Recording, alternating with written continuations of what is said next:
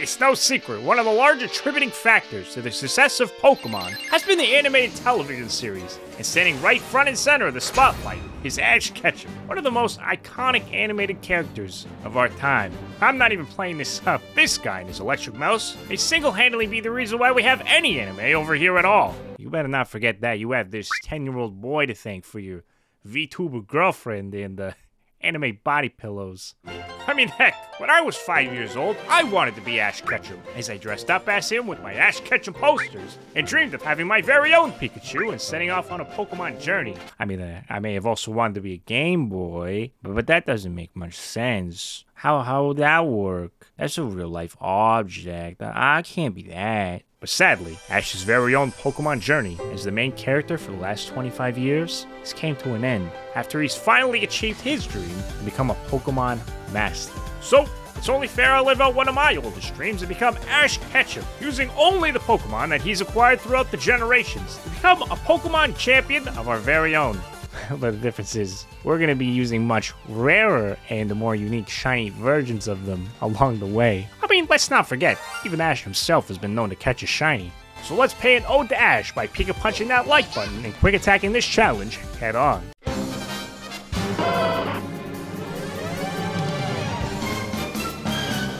Ah, the Adventures of Ash Ketchum. He's traveled out through all the lands of the video games. Which one should we really play here? Well, how about uh, all of them? Well, not really. You see, I'm gonna capture a shiny Pokemon through all the generations, just as Ash did. As far as the main journey goes, we're, we're kind of stuck with a uh, brilliant diamond here. Yeah, I know. It sucks. But honestly, I don't really see what the big problem with these games are. I mean, even Pokemon Company looking at you guys thinking, haha, f you. That's what you asked for. We just we just gave it to you five years late. You don't want it? Okay, this is on the 3DS. You guys love this. Also, it might be because it's one of the only Pokemon games we can send off all our shiny Pokemon to. Okay, alright? Sound good? Okay, I'm sorry. It's not my fault. What are you gonna do next? You gonna blame me for canceling Ash's journey too? I would never cancel anyone. Never mind the child. Well, unless he ran up and punched a defenseless loving animal or something like that. I don't think Ash Ketchum would do that. Brilliant Diamond is a true challenge to beat. It's not like your regular Pokemon game, sister. And Cynthia won't just be defeated by, uh, you know, Thunder Shock alone. this ain't Team Rocket Kid. But everyone knows Ash's very first Pokemon is Pikachu. So there's really no need to consider any of these game starters. Well, For now, that is, of course. So we're gonna go as far back into the series as we can capture a shiny Pikachu. And no game is better for this than the very first game that shinies were ever introduced. But, but Pokemon Crystal, not, not Gold and Silver. You see, this game could be any more perfect. Because let me let you in on a little secret here in Pikachu's past. You see, Pikachu wasn't always Pikachu. You see, what I'm trying to say is, Ash's Pikachu used to do a legal substance. Don't be like Pikachu, kids.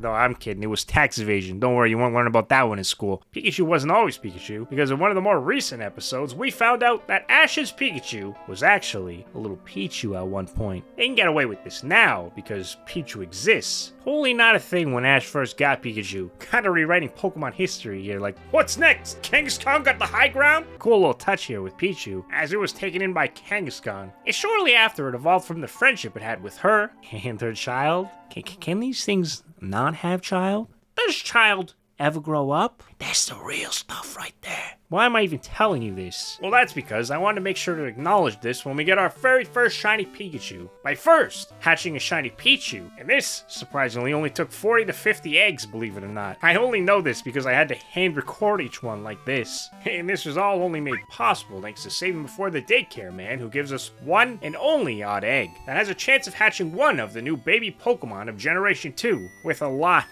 better shiny odds. I mean, even if Pichu was among the rarest ones, being shiny in one in every 100 eggs on average. I know if you're a shiny purist right now, you're thinking, only 100 eggs? Luckily, it didn't take 100 eggs because it takes about 25 minutes just to hatch one. What you don't know is getting it was only half the battle, because I also had to raise its friendship and evolve it before trading it over to Brilliant Diamond, because Ash didn't start with no Pichu. Generation 2 friendship mechanics kind of bad, or well, underdeveloped if we're being more, if you want to be more suitable. But Eventually, we evolved it after eight more hours. Uh, I'm not even exaggerating. It was that bad. Making this probably the least efficient, but at least most canonical, you know, correct way to achieve our very niche challenge here. But there was one slight problem. The shiny Pichu that we got was a female. And although it might not matter here in Pokemon Crystal, or hell, not even in Ash's journey when he first started two decades ago, but you see, female Pikachus are clearly visibly present in the modern age. As you can see, is indicated by uh, you missing a small piece on his tail here. Now it's shaped like a heart. You know what? Now I'm just gonna cover up with a little bit of marker and continue on our journey. But later I'm, I'm definitely gonna correct this very small inconsistency. And some may say it's, it's very unnecessary to do so, but for now, it's, it's okay for now, okay? It's okay. I gave this Pikachu the most anime appropriate moveset. I did it all just to find out, oh no, Pokemon Home says, your moveset. What? You know, sounds great. Uh, I'm glad I wasted all my time. After beating all the trainers on the way to Jubilife Village, with the greatest Pokemon partner ever known to animate plot armor on our side, I thought that would be the perfect time to add a new member to our team. As around this time in Ash's journey, he actually got his second Pokemon too, which which was Caterpie. I wanted to deal with the heartbreak of I went for Bulbasaur instead. I could have hunted this in Fire Red or Leaf Green, but Ash didn't receive his Bulbasaur as a starter. He was too busy sleeping.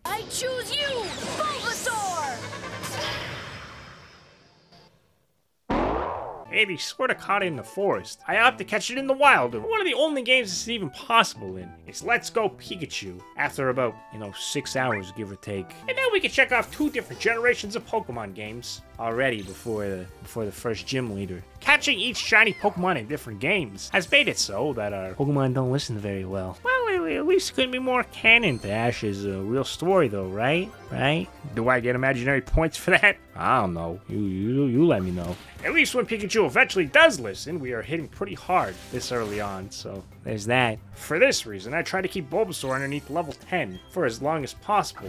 As I, uh, I guess level 10 is the point where Pokemon decide, F you. For some reason, our, our rival Barry, totally not Gary, and totally subscribe, has the AI of a toaster, making it possible for our level 9 Bulbasaur to not only beat one Pokemon with type advantage, but two. Yeah, this guy's pretty bad. He's even got the same level as us. Like, come on! See, see Gary would never.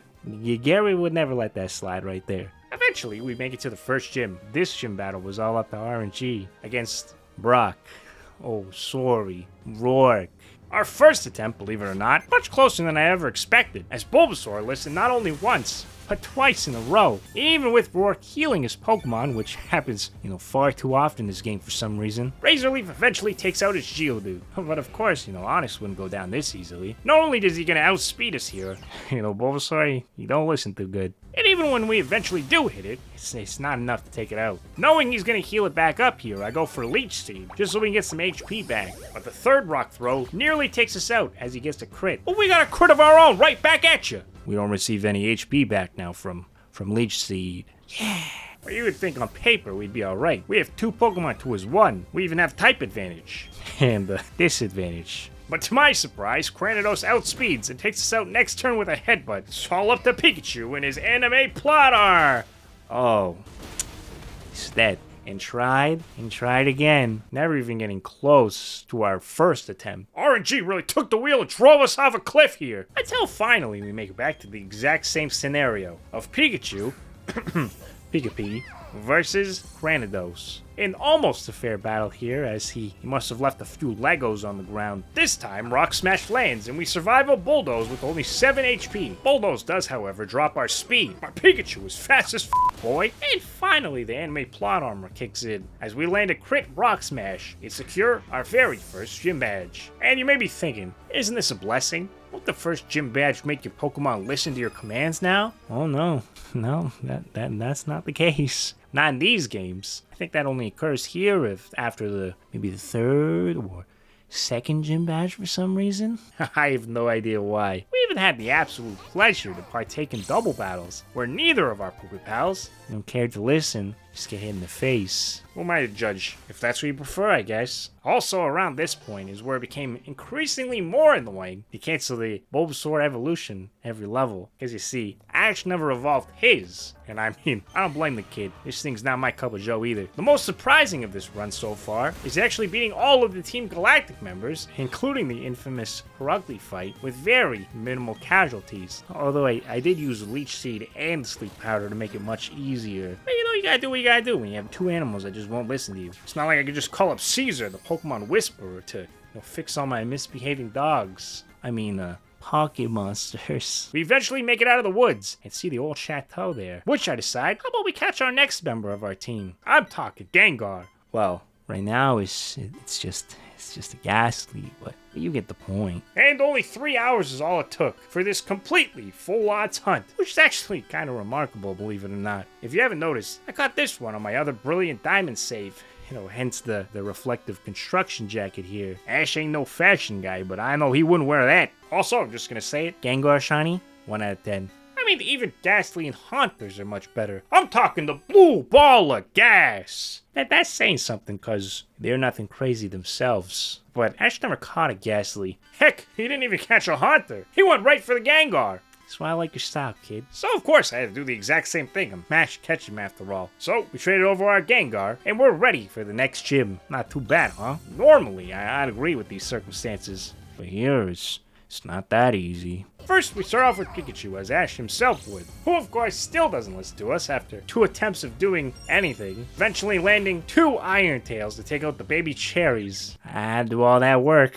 Some baby cherries. It's time for Ghost! Explanation mark. Who eventually listens and takes out her Turtwig with a Hex, leading to her final Pokemon. And I've lost to many, and many times before. I mean, we are Ash Ketchum, and we're, we're, we're, very relatable main character, obviously. You know, we gotta teach the kids that no one's perfect. No matter how many times you lose, it's all about how many times you get back up and never give up at the end of the day or episode. Or, or maybe TV series? I don't know. We start off landing a Hex. She proceeds to paralyze us with uh, a, with the Stun Spore. Paralyzing a ghost, huh? Not too sure how you did it. And I, I do have a few questions, but I respect it. But we also don't obey the next turn, and Gengar hits himself in his imaginary confusion. That's great. You know, but somehow Gengar finds this as some pretty funny shit as he decides to uh, fall asleep uh, mid-battle here. Really? what is this, and why? I just can't do this. These kids aren't. These kids aren't listening to me. Uh, I I can't do this anymore. Uh, I gotta leave this place. I, I want to be a ghost with no responsibilities. I can't take this. And this is absolutely a back and forth mess here. At one point, it just gets so bad that we're down to 3 HP. Or, you know, you just get a Gengar. It's easy after that. You know, no problem, they said. Are you guys seeing this with your own eyes here? We get another Hex and save the day.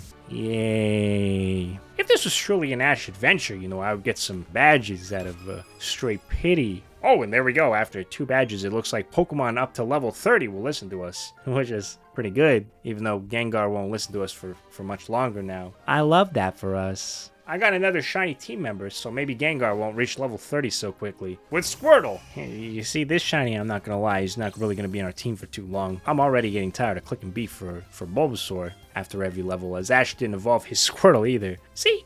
I got this Pokemon in Pokemon Go. Might have been the only way to get a Squirtle squad. Squirtle. Even though it didn't really keep its glasses when traded over. But you know, he's just like the real Ash's Squirtle. He doesn't wear the glasses anymore. It's more canon this way. I headed to Legends Arceus and caught us a shiny Turtwig, which is nice because we actually evolved this one all the way. Thanks, Ash, for actually training this one up. and lastly, I added this Abomination. Before I can even use it though, it already evolved. Not that I end up using this too often, to be honest with you guys. But we do need to use as many as Ash's Pokemon as we can, so that's why it's here. That's why it's shiny. And I already had this shiny from a previous game, so why not? You know what, at least Bayleaf's a little cooler, right? One cool thing now is we're actually far enough that Pikachu can follow us, which makes it feel much more like Ash. I just need my skin Pikachu slippers and I'm fully there. I'm Ash! But the next gym is where we run into some real problems. Yet again, of course. You know, this wouldn't be easy after all. I, I am Ash. After many and many attempts, I realized Ash wouldn't just keep going back without changing his strategy, so that's exactly what I did. I opened up my heart gold, head butted some trees, got myself a shiny Heracross, thanks to a cute charm glitch. Although this does mean I got another of those gender variant Pokemon that are not correct to the anime. Overall, shiny female Heracross is much better, since the pink actually makes it look like a heart horn. Now we have an answer for our Lucario. Nope, spoke too soon. No fighting moves. Makes the Pokemon home. Know, gotta, gotta, gotta love that thing. Isn't it the best? This was so bad, actually. I didn't even use Heracross. So much for changing this strategy to be like Ash. Who would know? All you need was a little bit of luck and crits on your side. Pretty easy stuff now, if I don't say so myself. Now is a good time to change up the team. You know, half of the team being grass or useless is, is really taking a toll on us strategically. Let's replace Bulbasaur with Treecko. Oh, and uh, Bayleaf with our with our Gible. Gible Icon Pokemon Scarlet and Violet. That game doesn't have any Pokemon Home support yet, so we just had to settle with one of my lousy Pokemon Go variants again. Being a Pokemon we can't evolve anyways, it's not going to be around too long regardless. Treecko, on the other hand, that's an addition we can use for the rest of this run. And speaking of run, look at this guy run. Look like he's about to save you 10% on car insurance. Hey, and since we're pretty far in this game at this point, doesn't take very long until he evolves into Grovyle. But you know, let me tell you this, they snapped on Heracross's follow animations.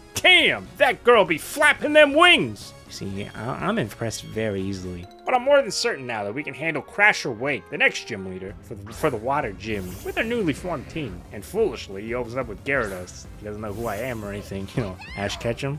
I got the, I got the Pikachu. Ash Ketchum from Pallet Town. I'll only say it before every goddamn battle in the show or whenever I meet someone new.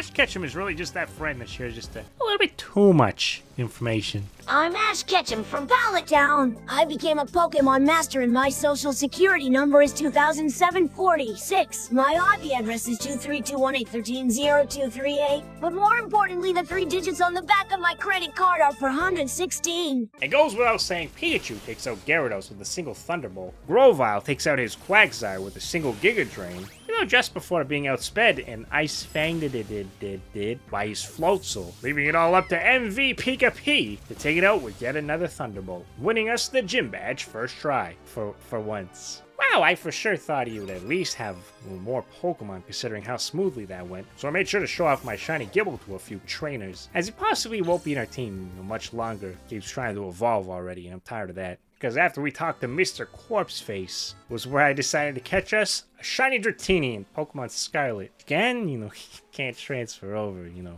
You know, I, I thought it would we, I would be able to by now, but I guess not. You may be thinking, Ash never had a Dratini, and to that you might be right. But you know we did have for like half of an episode was a Dragonair right before he got Dragonite. yeah, that's right. Bet you didn't know that one. Well, here he is. Our pink noodle dragon. Um, what? Did they just fully not animate this one? Is, is this what's happening here? Someone saw this and said, you know what? Yep, looks great. I, I want that guy's job. We're really just gonna hold along here as it floats?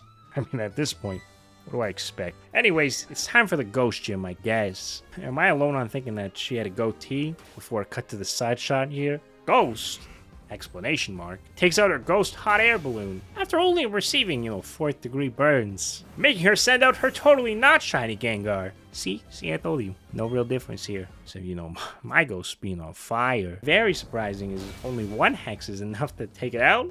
Like, really? But I mean, at least her final Pokemon, Misdrevious, survives a hex, just so that it can teleport into the Shadow Realm, leading me to switch into my Dragonair, who is, uh, quickly sacrificed. But Gengar saves the day. Five gym badges down, and honestly, let's just go right into the next one. How about that? Yeah, no changes to the team. Screw it. Let's just go battle that thing, huh? And up first in the Steel Gym is Bronzor, which again is just weak to Ghost. Explanation mark. Who not only sets up a trick room before dying, but also re- restores as I'm trying to sucker punch it in his big old blue dumb face, or body, or snowflake. Oh, seriously, what the f is this thing? Weirdly enough, he, he can't even stand the idea of losing it for some reason, because as I'm about to finally finish it off, he switches into Steelix, and he doesn't care too much for a Shadow Punch. Doesn't even phase him. Does, doesn't care. I go into Torterra to take it out with like three earthquakes. I don't know, it was probably enough to take out California if I'm being honest. See, Steelix just wasn't going down that easily. Of course, Bronzor is back, and it just, just won't go down. But we got it, you know, eventually. Leaving only Bastiodon left. And no matter how many times Heracross karate chopped this unfiltered fossil fuel, some of it just wouldn't die. Heracross is out, leaving it up to Ghost. Explanation mark. Finish the job. Which is, well, um, un-Ash-like of me, considering I didn't use a Pikachu Thunderbolt on this ground type. But Grovyle finally evolves into Sceptile, one of the Pokemon of all time, if I don't say so myself. Not so much the shiny eyes, though. If I'm being honest, those things creep me out some story-related crime to stop, where Team Galactic are bombing the lakes to fish for Magikarp or whatever. I don't know, I'm Ash Ketchum, I don't really pay attention to storylines, I just come and save the day. Because who cares? I sneak past all the fights until we make it to their boss. Sceptile, Ghost, and Pikachu deal with all of them easily, even though there seems to be no real reason to be fighting here, as by the time we show up, they've already got the lake spirits, and all the Magikarps has no water. Even knowing this, we still try to take them out on the other lakes against poor ugly lady, with the exact same results. And what what good did this do? I guess we just found out what they were up to, I guess. More importantly, look at Sceptile's Naruto run. At least his animation works. Now it's time for the ice gym, where it seems they either patched the, the ramp glitch out, or I'm completely incompetent. You know, it's probably the latter. But I did pull this off last time I played the game. Uh, I, I swear, here, here it is. Guess we're up against canned ice. Don't worry, I'm not stupid, because I, I'm not sure you can can ice without it just melting and becoming water. You won't fool me, canned ice. Heracross easily karate chops their Snowbank Pokemon, and Ghost explanation mark, puts a voodoo curse on that Metathic thighs. Pikachu, on the other hand, I got no words, but to try his goddamn best, okay? It's not Pikachu's fault that Sneasel dug underground. Heracross is able to take the dig and return the favor with a four times super effective Brick Break, leading into Pikachu's redemption arc. Wow, uh, yeah, that, that was short-lived. Heracross, Brick Break, we win. The world is saved yet again from canned ice. Yeah, I just I just can't believe it. You just can't can the ice. I don't think it's real. No shiny Pokemon to our team. In the form of the most famous shiny Pokemon that Ash has ever got. Or well, the only one he's ever got. I'm talking about just shiny Noctowl. And what better way to do this than to get it in X and Y? Alright, I, I would have been better to get in HeartGold, but like, let's be serious, we've already covered that. So X and Y seems seems great. It's only fitting that we walked around with it at night. His Pokemon was done right. Looks golden. You know what? Beautiful joke. I, don't want to continue. How am I ever going to top that? I don't think I can, and I won't. I replaced Torterra on our team since Sceptile is more in line with conversations about Ash's best party members of all time. This is when we go on the long side quest of battling not Team Rocket for the last time because Corpse Face wants to make his own Minecraft realm and delete this world while he's at it. Just cause it ain't worth saving. This world ain't worth it. Let's just make a new one. We defeat all of his grunts and team up with Barry, totally not Gary, but subscribe, to beat his leaders or captains or whatever, honestly. Does it really matter at the end of the day? Does any of this matter? That just makes Corpse Face Man, leader guy, well, angry and he stomps Big Mad towards us for the big battle of who gets to keep Clifford, the big blue steel time dimension dog, waiting for a treat standing right behind him. Well, of course, we start off with Pika P, who at this point is obviously our best friend if you couldn't tell by the dance moves as an indicator. Getting a little boogie with it, hitting the SpongeBob. His Honchkrow does, however, survive the power of friendship and Thunderbolt, but decides, and I'm not kidding here when I say this, to just fart in response to almost dying. Don't worry, because Pikachu doesn't give absolutely two and just begs to be pet after being absolutely crop dusted, even with the Looney Tune animation and all. Brings out Gyarados for some reason, just to find out it has a berry that makes it much stronger against Thunder. But you know what it can't be saved from? Power of friendship, God, and anime that is all on my side, as I survive a normally beyond lethal blow. Noctowl then has this real claim to fame, taking out his Weavile after only two Moonblasts, leaving only his Crobat, who we Shadow Ball out of this Minecraft server, and can claim the big blue steel dog for ourselves. But of course, first we gotta add a Pokemon to our team. Yeah, you, you can actually change your party up here, surprisingly. What Pokemon would be better for such a battle? And one that's came to Ash's saving whenever he's in real tough spots, even against some other legendary beasts. I'm talking about Charizard, but not any Charizard, the Black Charizard, the rarest and most legendary. You know, the kind that takes only about 7 hours to capture? No big deal. Pokemon that iconic is definitely worth my time, right? Right guys? Lizard was worth it, right? Please, please help me justify the seven hours spent. Why would we need Charizard to capture the big blue dog? Ash doesn't want to capture every legendary Pokemon, or even any legendary Pokemon he encounters. Most of the time, he just wants to battle it. So that's exactly what we're gonna do here. And we defeated it. it, it. Ash would be proud.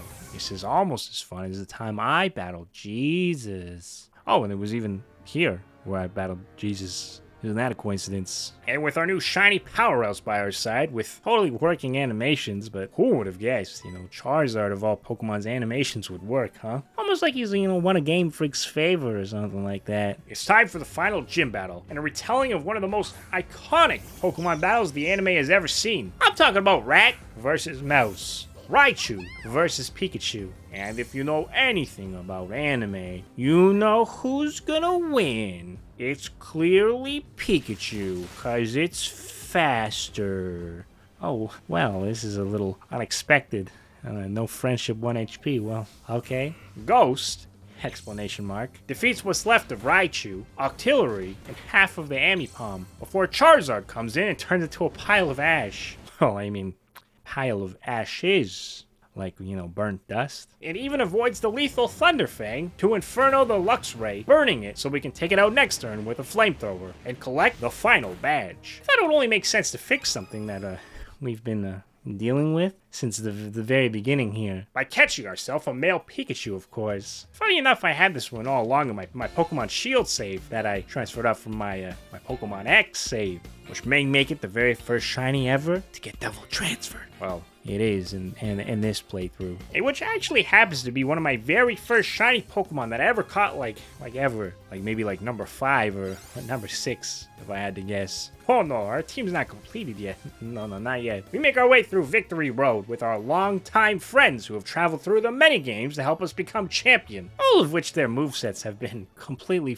destroyed by Pokemon Home in the process. And as I'm looking off into the beautiful world of the Sinnoh region, I can only wonder, what if we only had that one shiny Pokemon that got away? One that we set free many, many years ago. What if the hero throughout time came back? Oh, look, it's a Butterfree. It's a it's a shiny one. Came back all this way, all this time. Make sure this time it was with us when we become our champion. Yeah, well, uh, we're sort of not really ready for that yet. Still need that uh, that Dragonite. Cue the training montage! And finally, all is restored. No more uh, animations or lack thereof. Because Dragonite is just a big old derpy green Charizard after all. It just uses up all of the same animations, of course. Who could really blame them? They're basically the same thing anyways. So let's go become Pokemon champions. Rival battle at the end here isn't much to, to really mention. It's the real challenge inside that we'll need to focus on. You know, first up we have Aaron. And he must just really love the movie Bug's Life. Oh, you know what? Maybe it was the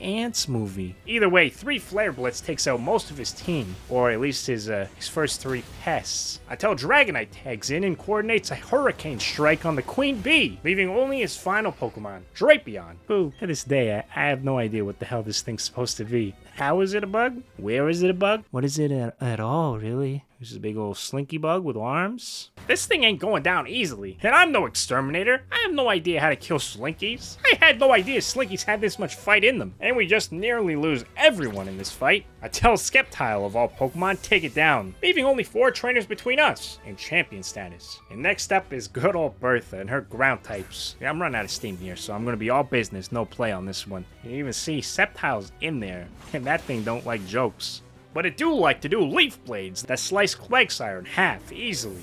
And poor Whiscash, he totally thought he had a chance here. Even with his weakness berry, he has 0%. There's, there's no way, pal. You'll get out of my face. Our good old boy Dragonite is the most devious and illustrious surf on poor Sudowoodo. Bringing him back to was the PTSD of that time of getting squirted by water bottles by, by kids. And the same fate almost falls upon Golem. Wouldn't be that easy. Of course, had to have Sturdy to survive the hit. And that that's fine. Also, hitting the Stone Edge too? No, you. See, see, I'm, I'm a little betrayed. R- RNG? I, I thought you were on our side. Leaving Sceptile to come in and save the day. Sorry, uh, hungry, hungry hippo. You just have no chance. I thought this fire clown with an afro wouldn't be too bad, since now I have multiple Pokemon to surf. But who said he had that many fire Pokemon? Who said this game even had that many fire Pokemon? So it did prove slightly harder than I have ever expected, but we get the job done, leaving only Lucian and Cynthia. This battle was absolutely bonkers, insano sicko mode style. Do, do I want to recap it? Mm,